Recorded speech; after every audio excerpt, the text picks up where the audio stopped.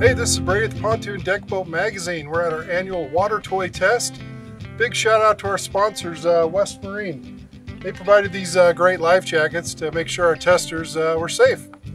And uh, of course, Island Hopper, they hooked us up with this patio dock. And really, it made our testing that much easier. It's nice to have a solid platform to work off of, to blow up our tubes. It's just been uh, great. Enjoy our video as much as we enjoy testing these tubes. Thank you.